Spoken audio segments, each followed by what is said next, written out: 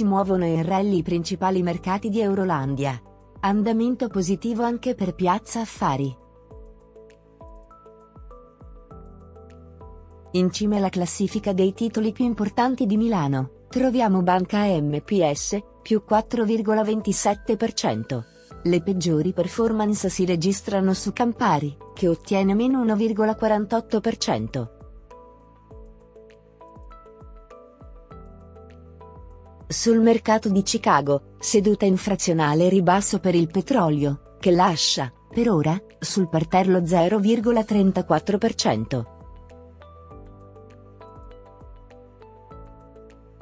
È previsto questo pomeriggio dagli Stati Uniti l'annuncio sia del PMI composito, che delle scorte di petrolio.